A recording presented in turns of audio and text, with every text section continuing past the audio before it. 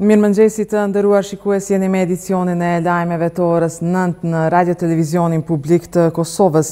Pas debateve të fundit në Kosovë lidhur me deklarimin e Kryeministrit Albin Kurti se marrëveshjen mes ish Kryeministrit Hashim Thaçi dhe NATO-s e kishte çuar në prokurori, RTK ka provuar të marrë një përgjigje nga selia e NATO-s lidhur me këtë çështje, por ata kanë refuzuar ta komentojnë një gjë të tillë. Zyrtarët e Aleancës Veriatlantike megjithatë kanë përsëritur se cilat janë obligimet e FSK-së konform letrës së deponuar tetë vjet më parë nga kryeministri i atëhershëm Hashim Thaçi në selinë e NATO-s. Letra e deponuar në ditën e arritjes së marrëveshjes së parë në mes të Kosovës dhe Serbisë në prill të vitit dy mijë e trembëdhjetë, konfirmon gatishmërinë e Kosovës që forcat e sigurisë së Kosovës të mos shkojnë në veri të vendit pa pëlqimin paraprak të komandantit të KFOR-it. Organizata e Veteranëve të Luftës i ka bërë thirrje kryeministrit Kurti të sqarohet në lidhje me deklarimet e tij se kush janë kriminelët e Ballkanit. Sekretari i OVL-së së UÇK-së Faton Klinaku në një konferencë për media ka thënë se kohët e fundit është intensifikuar urrejtja ndaj pjesëtarëve të UÇK-së. Ndjekim një deklaratë të tij. Për kënd e ka fjalën saktësisht kryeministri Kurti kur deklarohet për eliminimin e kriminelëve në Ballkanin Perëndimor. Në darkën e Brukselit apo në darkën e turpit, merrnin pjesë përfaqësues nga shtetet që nuk kanë luftuar me Serbinë, si Shqipëria, Mali i Zi e Maqedonia. Aty ishte edhe Kosova që ka bërë luftë çlirimtare, sikurse ka bërë Bosnja e mbytur në gjak dhe Kroacia po ashtu. Prandaj, kush janë kriminelët e Ballkanit Perëndimor, kur vetë Kurti nuk i emëron saktë? Ndërkohë ish-presidenti i Kosovës, Hashim Thaçi ka paraqitur kërkesë përpara gjyqtarit të procedurës paraprake për ta zëvendësuar avokatin mbrojtës. Thaçi në vend të David Hooper e ka kërkuar avokatin Gregory Kehoe.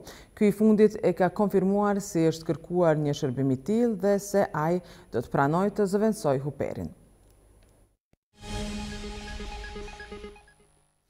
Në një fjalim të mbajtur në Bundestagun gjerman, eurodeputeti Peter Beyer ka kërkuar nga kryeministri Albin Kurti që ta formojë Asociacionin e Komunave me shumicë serbe.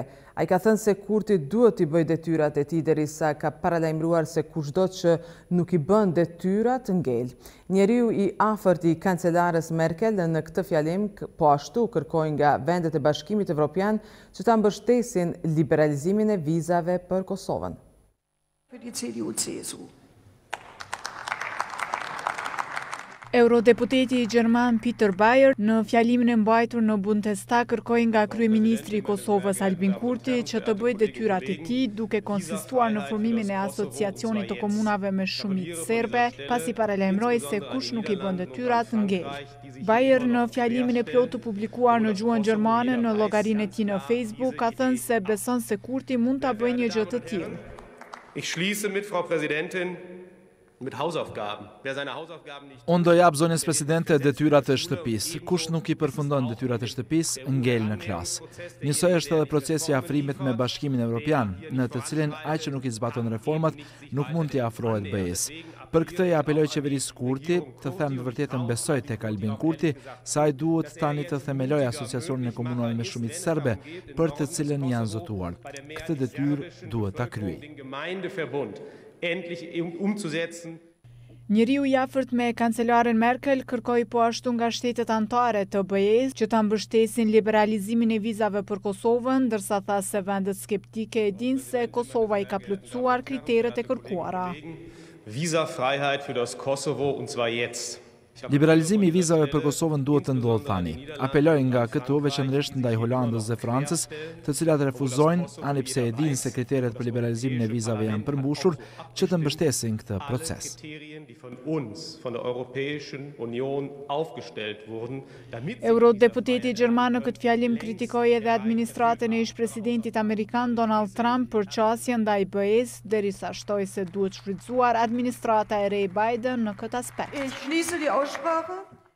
Ndërkohë përfaqësuesi i lartë i Bashkimit Evropian për Politikë të Jashtme dhe të Sigurisë Josep Borrell ka thënë se Unioni Evropian duhet të reflektojë mbi çështjen e liberalizimit të vizave për Kosovën.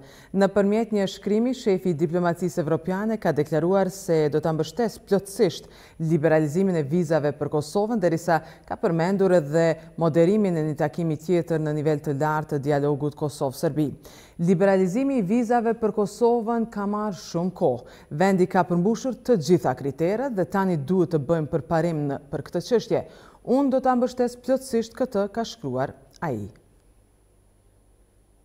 Për nder të Ditës Botërore të Diversitetit Kulturor dhe Dialog dhe Zhvillim, kryeministri i Kosovës Albin Kurti përmes një letre i është drejtuar organizatës UNESCO, të cilës i ka paraqitur një sërë kërkesash.